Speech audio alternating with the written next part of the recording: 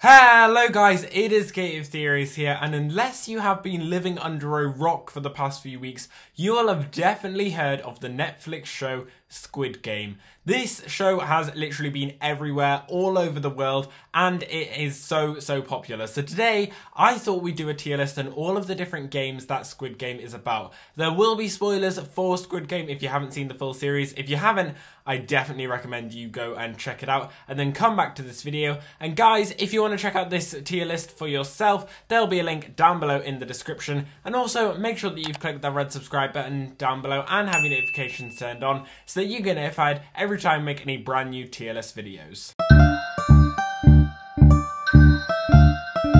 So here I am on my Squid Game tier list. Now, of course, there are only six games that the characters have to play in Squid Game, but you'll notice there are actually nine, I think, different versions on here, and that's because there are, throughout the show, times where games happen on official games or scenarios take place where people can easily be eliminated, even though they're not technically part of an official game. So I've decided to add them in as well. So let's start off with the first game, Dutch Dutchki. Now, this is, of course, the first game that the characters ever play, and the first game where we ever see 456 actually play. And it's basically where they play this game and then they sign up for the full experience at Squid Game. This game isn't really that interesting, nothing real much happens, although it is pretty funny to see lots of people just being slapped several times over. And I do like how at the end of the show, 456 sees this happening again and, you know, realizes that this whole scenario is still happening for him. But is it S tier? Definitely not. Like, it's not really that interesting. It's just two people trying to hit two envelopes together, so not really that interesting. I'm going to say D tier. Like, it's not a proper game, so it was never really meant to be interesting. Next, we have Red Light, Green Light. Of course, the thing that's been on the promos, it's been on TikTok, YouTube, Instagram, Facebook, Twitter, all of these social medias, because this is the thing that Netflix used to promote the show. It's of course in the first episode, and it's a game that I'm sure you've all played. But where I'm from, we call it a different type of game, but it's the same premise. And of course, it is so brutal and so good and so unexpected, especially if you've never seen the game before. I absolutely love this, and I think it's definitely S tier. Not only just because of that creepy doll who keeps on going red light, green light, which is insanely creepy but insanely funny. I just think this is a really great first game, it gets rid of brutally half of the people who had already signed up, and it basically shows you the stakes of what the games are going to be like. It's a perfect one for a first game because not only does it get all of the characters like worried and realize, oh, this is what we're getting into. But it's also a great idea from Netflix because if it wasn't for me seeing this weird doll and this game online, I probably would have never gone and watched this show. So it's a great promo and it definitely deserves to be in the S tier. Next we have Honeycomb.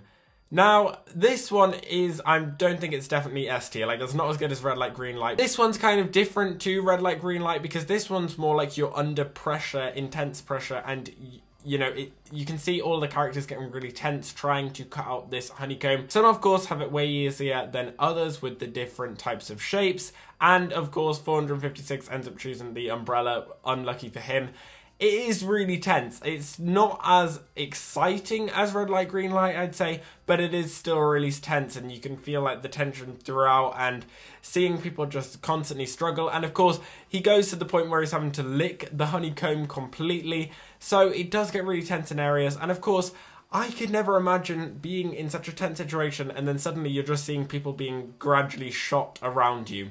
The only thing I'd say that's kind of a bit annoying about this one is that, of course, it was in the park setting. And I honestly thought before we were going to do the honeycomb, I thought we were going to have like a really cool game set in like a giant park. This one's still good, but I think I kind of like anticipated it would be something else. And then it was this and it was kind of a letdown, but it was still really good. I don't necessarily think it's A tier, I'm going to put it B tier. Next we have another one that isn't actually technically a game, but I'm going to class it as a game. And that's at the beginning of episode 4, which is, I think, my favourite episode overall. And it's where the lights go pitch black and they realise that you can kill people at night. And that will class as eliminations. Technically, it's not a game as such, but then as the night goes on, the leaders at Squid Game basically just say it is a game and they treat it as a game and it is brutal. It reminds me of, if any of you have ever seen Doctor Who, it reminds me of the Weeping Angels in Doctor Who because of course of all the flashing lights and it goes on for quite a while. I could not imagine being in that situation where you've got hundreds of people trying to kill you while the lights are flashing on and off, on and off and it creates this creepy atmosphere that I love. Plus it turns into kind of like a battle royale, kind of like the Hunger Games which I really like and I just think it's really brutal, and I absolutely love how it kind of began episode four, and I think it was just really big excitement. I think it is up there with red light, green light. I'm not sure which one is better, whether red light, green light's better, or whether the night one is better, but they're basically the same for me. I just really love the excitement these ones bring you. Next we have game number three, Tug of War. Now this one is of course where all of the characters have to be put in teams of 10 and it basically looks like all of the main characters that we've grown to love are outnumbered because they're against a bunch of very very strong people and they're all pretty weak. But what I do love about this is the technique they use from the old man of leaning back, of maybe moving forward a bit to try and let people take them off their balance. I love this one simply because they get really creative of how these people are going to win against all of these really, really strong people. And I do like a bit of tug of war. Also, it's quite brutal when, you know, everyone just falls at the same time when they lose. So I kind of like that. I don't think it's S tier but I don't think it's as uh, unexciting as Honeycomb, so I'm going to put it in A tier.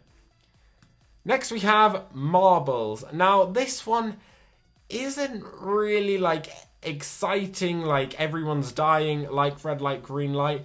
It's not as tense as uh, Honeycomb, but it's more a game to just focus on the emotion because by this point, I think it's episode 5 when Marbles happens. By this point, we've gotten so attached to all of these characters and the relationships that they built with each other that this one really tests your heartstrings. Marbles isn't the funnest watch ever, and I think when it's kind of just the episodes in Squid Game where it's just them talking for ages and ages, it can get a bit repetitive, it can get a bit boring, and I think Marbles unfortunately falls into that trap. But it is a really good character development one, and the ending is so so emotional. Didn't everyone get an emotional when Ali 199 ended up dying? It was brutal, and we get to see kind of like the shift of 218, where he decides to change from being kind of like a team player to more like this is all about me. I'm going to be out for myself. And it was so heartbreaking to see at the end 199 with the stones in his bag and realizing he'd been tricked by one of his closest friends who we'd seen them grow over these past few episodes. It was just really, really heartbreaking. Of course, the old man, him dying kind of of course back then in episode 5 when marbles was happening it was really emotional when he was dying. And then of course 240 and 67's relationship with each other. I really did like that relationship. However i just wasn't attached to 240 as well but it was quite sad when she died as well. So I think Marbles isn't exactly exciting, and I really love the games that are really, really exciting. It did get slightly boring at times, but it definitely was emotional. So for that reason, I'm going to put it in B tier. You'll notice a trend, I kind of just prefer the more brutal ones. That's just something I like. You guys might disagree with me. These ones are kind of similar, whereas the ones in B tier are also kind of similar. So I like more action, exciting things. Next we have the Glass Bridge, which I think is a really inventive game. I've never heard of this type of game being played before. I'm not sure whether it was created just for Squid Game or it is a child's game that is being adapted for Squid Game. But this one is brutal because, of course, at the beginning we've got 456 worrying for a good few minutes of which one he's going to choose. And thank goodness he ended up choosing the last player but I do like how this one basically gets rid of all of the other people apart from the finalists. It's a great one because you realise that if you're at the front, you're gonna die. Like there is no way you're to die. I'm pretty sure someone does the maths in the episode and they realise that the percentage chance of them crossing without hitting a glass that will break is so incredibly low that only the last few people are going to make it. I also like this one because the VIPs are watching, and of course we've got that tense scene between the VIP and the spy, but I really do like this one. For that reason, I think it's going to go in S tier. I wouldn't say it's as good as these other two, but I think it's better than Tug of War. And I just love the bit where 212 finally gets her revenge on 101 and takes him down with her. That part is kind of like a nice ending to their story. Next, we have, you could call this a game, I'm calling this a game, it's technically not.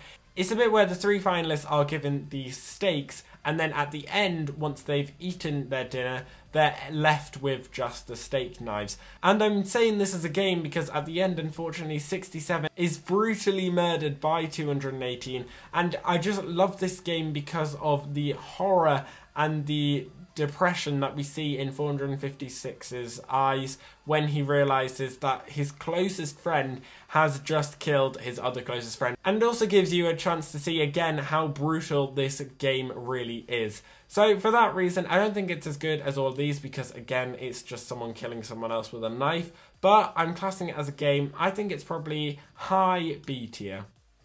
And finally, we have Squid Game, the final game between 218 and 456. This is tense. Of course, at the very beginning in the prologue, we kind of got a bit to know about what Squid Game is if you don't know what it is already. And of course, this ended things off between 218 and 456 and the emotion between them where you've seen these two have been basically closest friends with each other from episode 1 you now get to see how they've grown and how they basically ended up turning on each other. But I love at the end how 218 basically kind of just sacrifices himself so that 456 can win. And it's really emotional at the end after this game when 456 goes back to 218's mother and it's just really, really sad. Unfortunately, I don't think it's going to be red light, green light because, again, like I'm saying, that one was basically made so that people could go and watch it because it was so, so good. I don't think it's S tier, but I think it is high A tier just because of the emotion it brings. But anyway, guys, that is the end of our Squid Game games tier list. What did you guys think? Let me know all your thoughts down below in the comments and where you would rank your favorite Squid Game game that they did. Let me know all your thoughts down below. And as always, we've been here on Gate of Theories. Thanks for watching, and I'll see you guys later.